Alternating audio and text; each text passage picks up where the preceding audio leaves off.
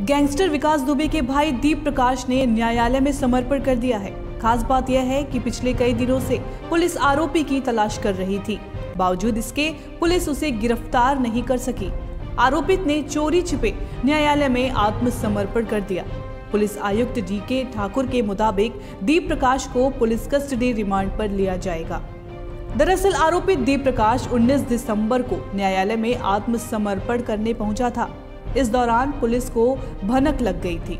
Police को देखकर आरोपित कोर्ट से भाग निकला था। आरोपित पर कृष्णानगर पुलिस ने बीस हज़ार रुपए का इनाम घोषित किया था। कृष्णानगर कोतवाली में आरोपित के खिलाफ जालसाजी समेत अन्य धाराओं में दो एफआईआर दर्ज है। आरोपित के सरेंडर करने के बाद पुलिस की कार्यशैली पर गंभीर सवाल खड़े हो रहे हैं। लखनऊ पुलिस कई महीनों से आरोपित की तलाश में दबिश दे रही थी।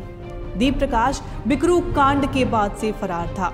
राजधानी पुलिस ने शुक्रवार को आरोपित के घर की कुर्की की थी। इस बीच आरोपित ने कोर्ट में आत्मसमर्पण की अर्जी डाली थी, जिसके बाद पुलिस सक्रिय हुई थी। विकास दुबे पर पाँच लाख का इनाम घोषित किया गया था, जिसे एसटीएफ ने उज्जैन से गिरफ़्तार किया था। कानपुर लाते समय एसटीएफ की विकास से मुठभेड़ हो गई थी, जिसमें वह मारा गया था। पुलिस आयुक्त का कहना है कि दीप प्रकाश से पुलिस कस्टडी रिमांड पर पूछताछ की जाएगी। आरोपी तब तक कहाँ छिपा था और उसे कौन लोग मदद पहुँचा रहे थे, इस बारे में भी जानकारी की जाएगी।